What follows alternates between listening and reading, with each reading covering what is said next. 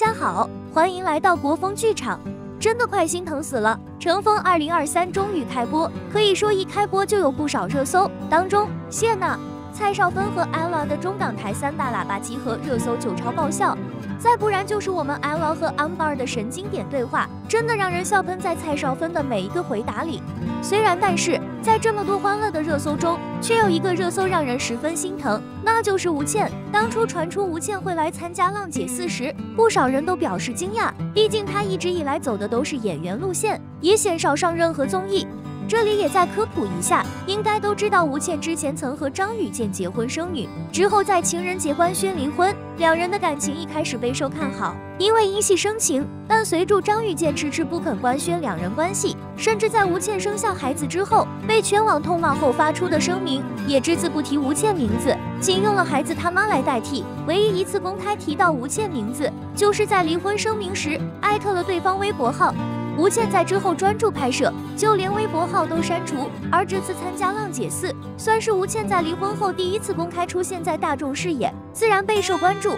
不过，吴倩在节目中表现出来的状态真的太引人心疼了。先是在等待表演时，对自己明显不自信，还预先向同样是离婚的张嘉倪求助，表示如果自己唱跑调了，希望她也要鼓掌。而张嘉倪立刻霸气表示：“那必须的，没事，肯定会很好的。”并送上了鼓励的抱抱一个。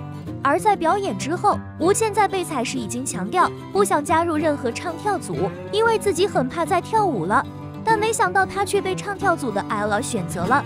原来在吴倩表演的时候，L 就十分欣赏，不断说漂亮。在被 L 选择之后，吴倩的反应更是让人心疼，满脸都是不敢相信的表情，小心翼翼的眼神真的太虐了。但我们 ella 就是很坚定的选择他，并且不断发送爱的 work。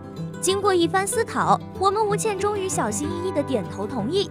看看 ella 的反应，十分的开心，甚至在第一时间就再次当面称赞了吴倩的表演。我很喜欢你的表演。对于一直没自信的吴倩来说，ella 在这一段的每一句话对她都是莫大的肯定，以至于她忍不住在采访中提到：“我第一次在这件事情上面可以被认可。”虽然，但是吴倩这段真的太虐了。要知道，吴倩未出道就是五大校花，前途明明一片光明。而当时的她十分自信啊。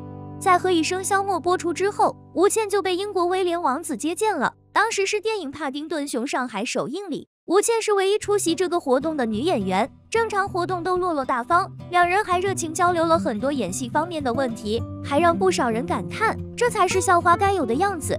不少网友纷纷开骂，到底张雨坚做了什么，让吴倩会有这样的眼神？